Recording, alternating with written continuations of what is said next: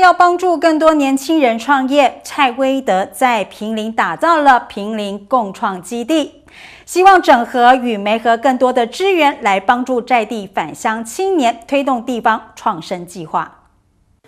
两位年轻插画家以平林生态为主题，画下自己心中最美、最特别的平林。这是目前正在平林农创聚落展出的兰内耍最迪贝拿插画展。而这次展览幕后推手就是平林共创基地创办人蔡威德。蔡威德表示，平林共创基地期盼透过资源的整合与媒合，提供年轻人在创业道路上更多的协助。对于青年的部分，我们第一个是呃，对于政府计划的资源的衔接，然后再就是说，如果他们想要做一些品牌的加速包装，甚至一些活动类型的呃事项的话，都可以在这个空间以及透过共创基地一起去协助跟完成。像是这次提供插画加展览空间，也顺道推广平林在地特色，为地方注入年轻的活力，也是平林共创基地的目标之一。尤其近年来越来越多的平林青年返乡，蔡威德希望可以串联更多人一起为平林努力。平林这几年，呃，越来越多返乡的青年跟青农，那我们希望说，透过这个基地，可以把大家串联起来。